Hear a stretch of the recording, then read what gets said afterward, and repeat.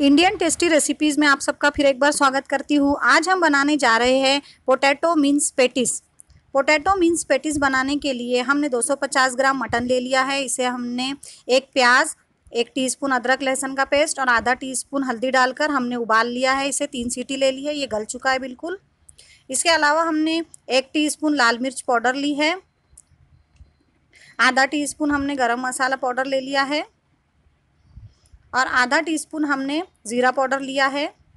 इस एक table spoon तेल डालकर हमने ये तीनों मसाले डालकर कीमे को बना लिया है। हमने पका लिया है, अच्छी तरह से इसे सुखा लिया है। हमारा कीमा पक चुका है। इसके अलावा हमें अभी बैटर बनाना है। पोटैटो का, उसके लिए हमने चार आलू उबाल लिए हैं और उसे मैश कर लिया है अच्छी तरह से। एक टीस्पून हमने नमक लिया है। छः सात हरी मिर्च है छः सात लहसुन है जिसे हमने पीस लिया है। और थोड़ा सा हरा धनिया है। इन सभी को मिलाकर हम आलू में मिलाकर बैटर तैयार कर लेंगे। ये हमने सभी को मिक्स करके बैटर तैयार कर लिया है। अभी हम इस बैटर को लेंगे। हाथों की मदद से टिकिया बनाएँगे गोल गोल। ये हमारा कीमे का बैटर है, ये हमारा आलू का बैटर है, ये हमारा अंडा है एक अंडा है जिसे हमने नमक डालकर फेंट लिया है। ये थोड़ा छः सात ब्रेड है जिसे हमने आ, मिक्सर में पीसकर ब्रेड क्रम बना लिया है। अभी हम इसकी टिकिया बना लेंगे पहले आलू की हाथों की मदद से चपटी टिकिया बना लें। इस तरह से इसे अच्छी तरह से गोल करके चपटा कर ले।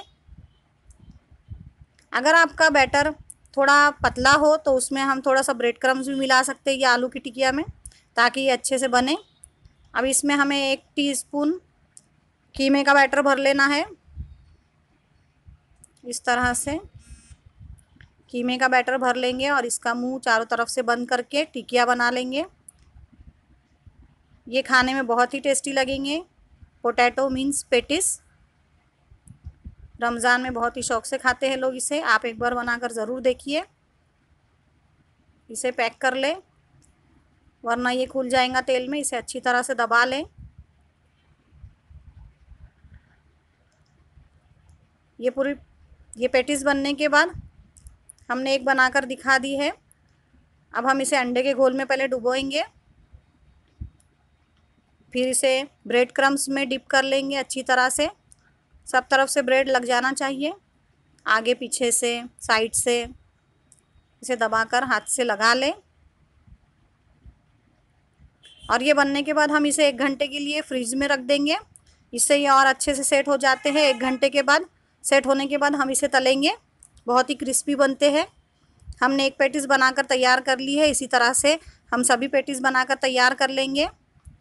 एक घंटे के लिए हमने इसे फ्रिज में रख दिया था। अब हमने निकाल लिया है। तेल हमारा गर्म हो चुका है। अब हम एक एक पेटिस इसमें डालेंगे तेल में और गोल्डन ब्राउन होने तक इसे तल लेंगे। ये बहुत ही क्रिस्पी लगते हैं खाने में। इसका थोड़ी देर इसे कलर चेंज होने दीजिए, फिर इसे पलटा लेंगे। थोड़ा सा कलर चेंज हो चुका है, हम इसे पलटा लेंगे। दोनों तरफ़ से गोल्डन ब्राउन होने तक तल लेंगे। देखिए, इसका कलर गोल्डन ब्राउन हो चुका है। अब हम इसे सर्विंग प्लेट में निकाल लेते हैं। आज की पोटैटो मीन्स पेटीज़ की रेसिपी अगर आपको पसंद आई तो प्लीज़ मेरे वीडियो को लाइक कीजिए शेयर कीजिए, और अगर अभी तक आपने मेरे चैनल को सब्सक्राइब नहीं किया है तो कर लीजिए।